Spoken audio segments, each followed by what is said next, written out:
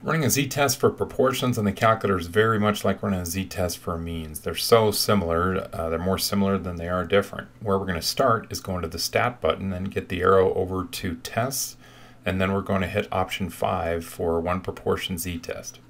Remember to always enter the alternative hypothesis. We're comparing to 1 6th, the true proportion of ones on a fair die. We want to make sure the proportion is greater than that p sub 0 up there.